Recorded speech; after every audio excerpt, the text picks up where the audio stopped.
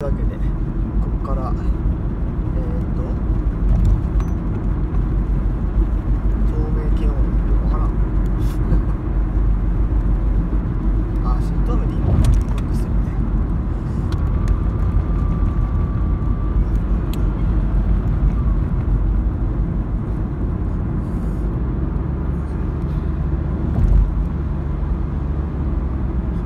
スピードがこうコントロールできるようになると面白くなる。ピードのコントロールが分かりやすくなると面白い、あ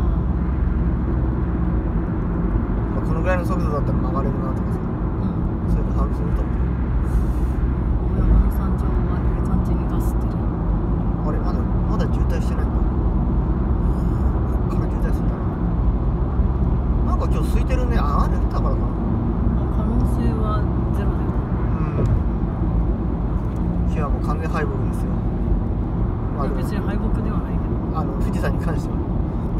なんかそういう言い方するとつまんなく感じちゃう。あの今日ダメダメダメとか。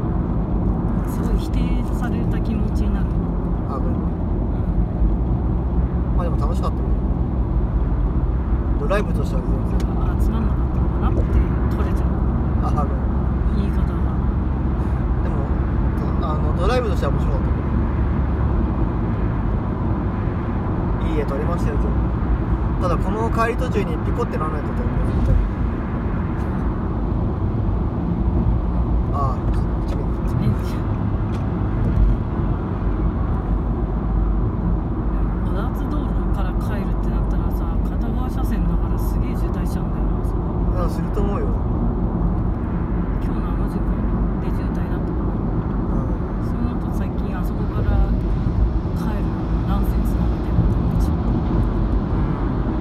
まあそれはあれだなでけえトラックって合流するだけでなんか圧があるからピクってさそれは別にこっちに向き合い来るってわけじゃないの分かっててもなんかびっくりする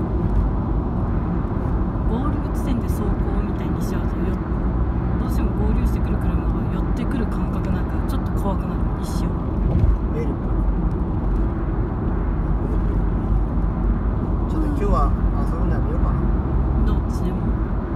まあ家で遊んでるわうんまあ 2, ゲームだけだからね DDR とダウンロだけだかそのために出てくるのがめんどくさくて私は絶対嫌だらい。やちょっと体動かさないとさすがに今日動かしてねえからあそうああんた待ってる間あのドッグランの周り走ってたボフとめっちゃ並んでたんだよマクドナルド。そうかモバイルオーダーで頼むのが手だなと思って。うん。あえて。知らなかった。だからみんな頼んでたのかね賢いやり方だただちょっと値が高えから買わねえかなまあしょうがないんじゃないまあ200円だけだ。よあのサービスエリアって基本的にちょっとう